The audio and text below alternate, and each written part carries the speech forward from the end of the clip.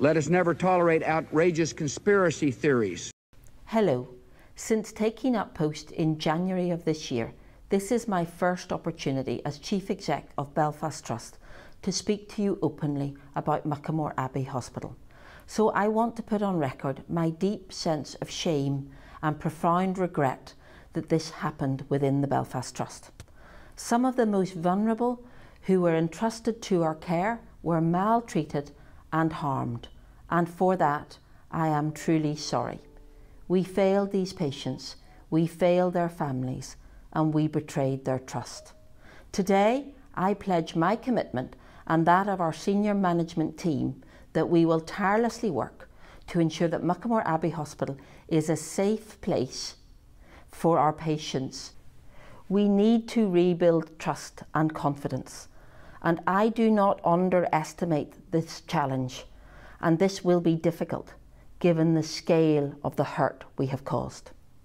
The CCTV has given a voice to patients and tells their story that they could not tell themselves.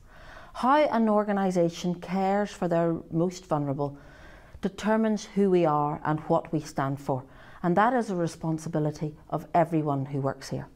Muckamore Abbey is a different place today. It is much safer. It is still not perfect.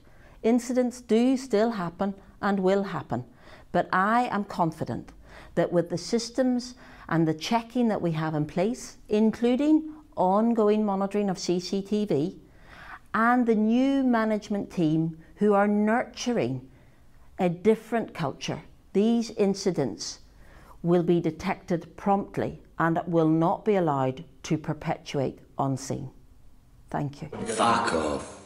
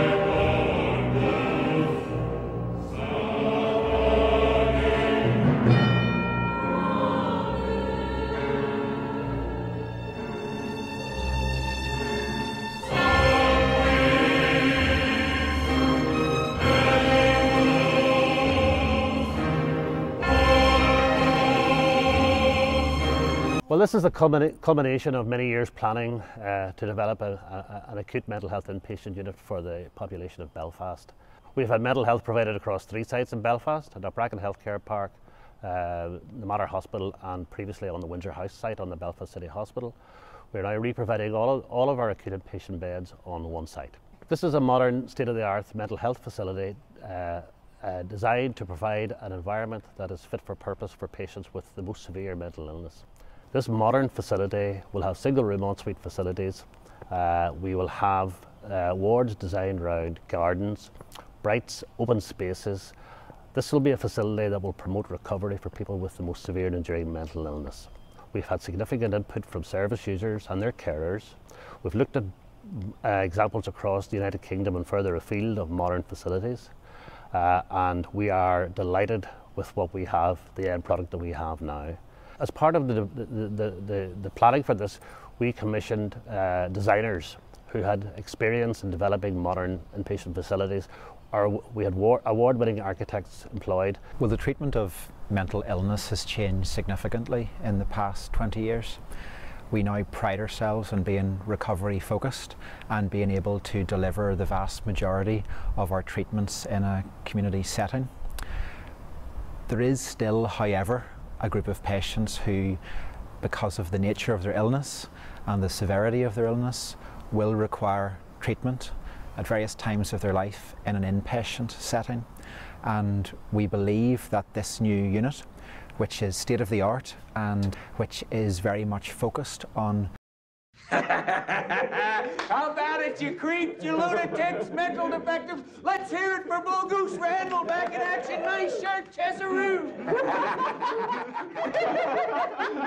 Look at the faces on you. Look at you.